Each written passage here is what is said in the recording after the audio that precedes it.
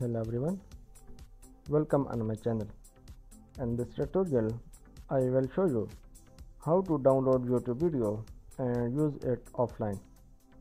Simply open your youtube and search here your favorite video. Like i want to download t20 final.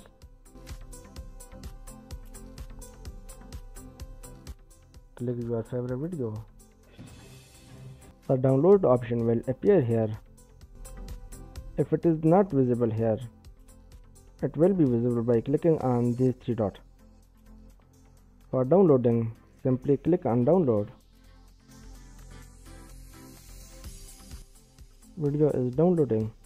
Click on these three dots and go to download.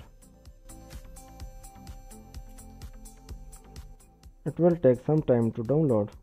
Downloading is complete. Now I turn off the internet and play it offline.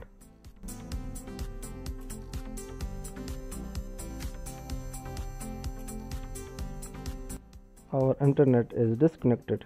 Now I play it offline.